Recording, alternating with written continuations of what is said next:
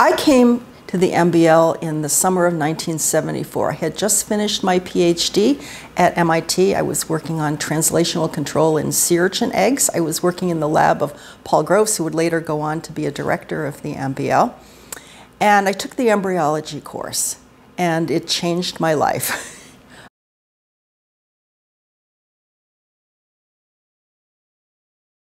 In 1976, I was invited to come back and teach in the embryology course. And I actually lived both summers in Swope in room 323 that overlooked Eel Pond. It was wonderful. And um, this was the beginning of molecular biology. And again, we had a whole different crew of people coming, of experts in the field coming through. And I got to see the organism that I would first spend, that I would spend a lot of my time doing work on, the clam Spisula, the eggs of the clam.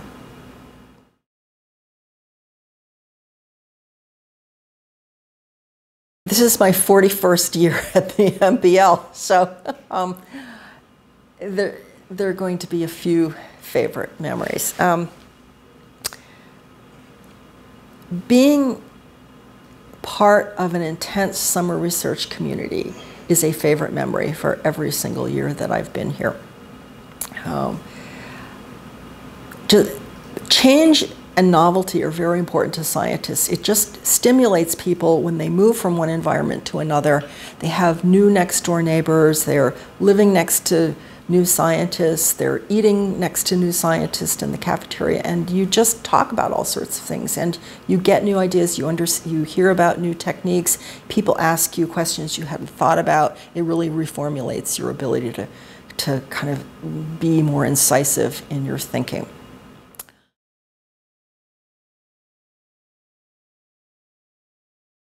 In the old days, the Board of Trustees was composed almost entirely of working scientists. And that began to, and so I was elected to the Board of Trustees during that time. And then the makeup of the board became to change, so it had a more sort of professional board, uh, people with experience in finance and business. And so I had uh, stayed on the board, had gone off, and was um, back on the board, and then I was uh, at Gary Borisy, the former director, asked me if I would be Speaker of the MBL Corporation. And I agreed, so then I was a part of the executive committee. And when Gary announced his decision to retire, the board approached me and asked me if I would take on the directorship of the MBL. So I had closed my lab, uh, recently. I was much more involved with as a uh, science advisor to the Radcliffe Institute, and I thought this was a terrific time for me to give back to the institution. So I said yes after a lot of trepidation because I had not ever done anything as large as that before.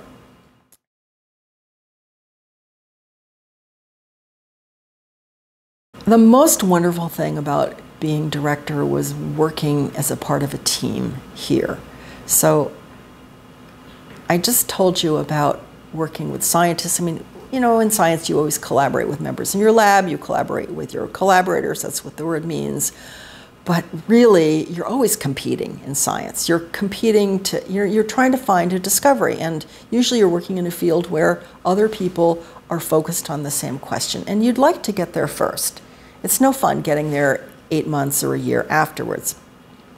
So being head of an institution is completely different. You are absolutely working together as a team with everybody all the time. And I had never experienced that um, to such a degree. It was wonderful. It was just a wonderful team when I came here. So that was uh, a surprise, and it still forms a really nice memory.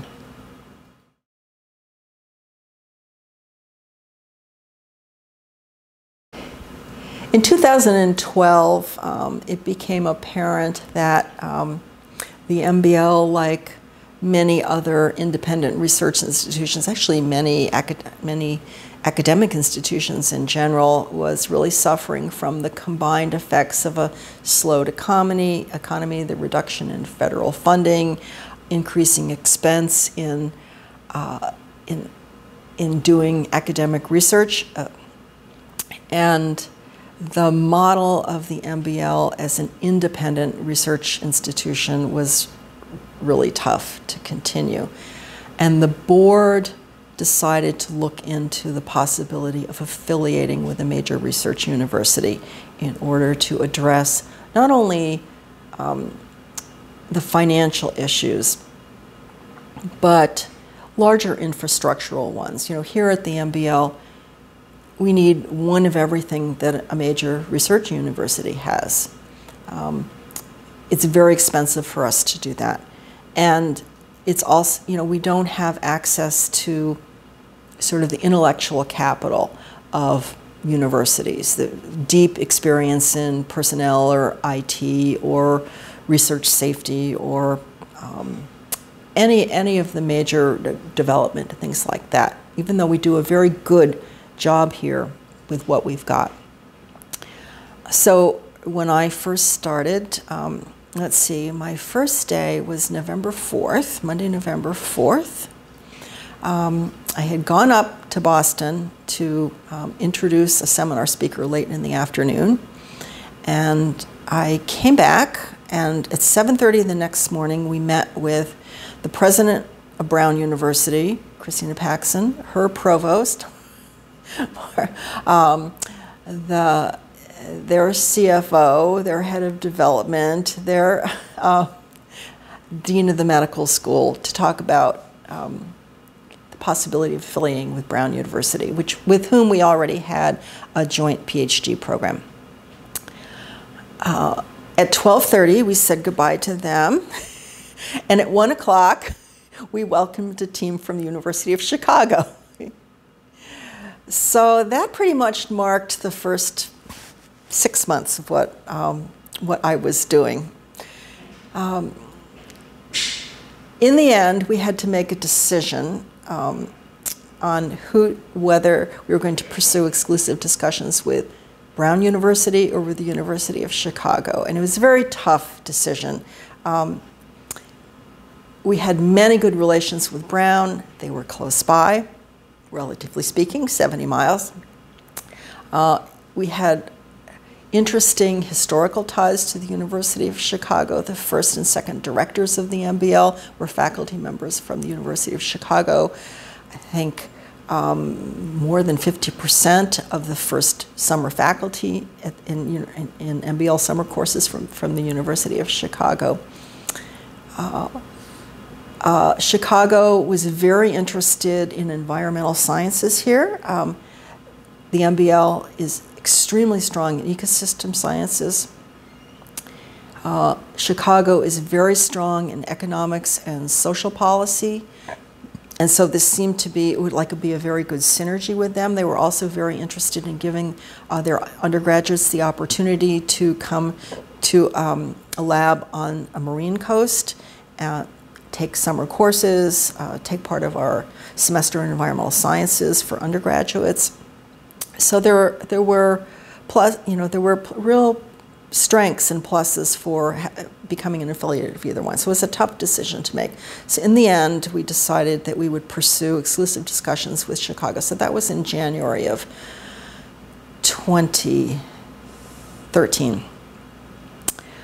Um, the MBL has an unusual governance. It has an independent board, but it also has a corporation, that, uh, the MBL Corporation, which had 583 active scientists who had to approve um, this affiliation.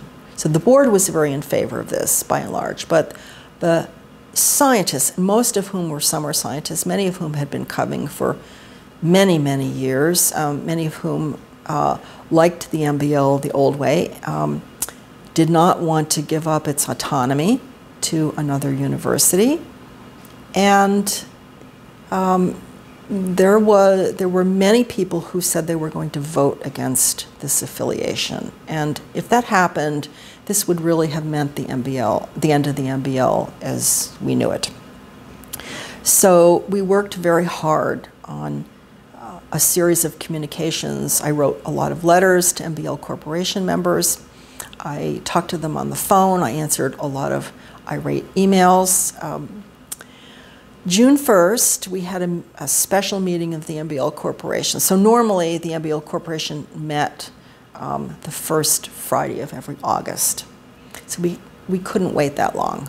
So we met on Saturday, June 1st, and there was going to be a vote. And we I had developed a presentation. I mean, people came here from as far away as the West Coast in order to vote against this. So we'd set out that we had a lunch for everybody, and then we are going to have a, uh, a, closed corporation meeting. You, you had to be a corporation member and on the list to get in, no press, no people, um, no community members who weren't corporation members, um, uh, because we needed a legally binding vote. So uh, I gave a presentation. Uh, we had uh, David Greene, who is the executive vice president from the University of Chicago, uh, give his views of what an affiliation with Chicago would mean to the MBL and how uh, how productive and stabilizing it would be. He told people, uh, he told corporation members what the financial arrangements would be. I think people were very pleased to hear that. Um, and then we called for the vote. And we had no idea what was going to happen. And because we thought it was going to be a very close vote, we asked people um, to stand up and hold up. Everyone had a green card that they were um, given admittance because we had some elderly people who had to be assisted by non-corporation members. So those, the, the, the helpers didn't have cards. So I asked people to stand up and hold up their card if they were in favor of it. And there was a pause, and then the entire auditorium rose. Um, and it was a wave, and it was uh, just amazing. And everyone looked around, uh, and there was silence. And I realized that we had succeed that this was going to happen. We succeeded.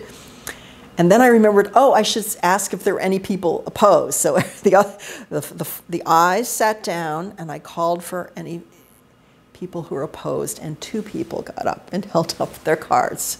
So I rapped my gravel, gavel and declared the vote a success, and then we went and had a cocktail party.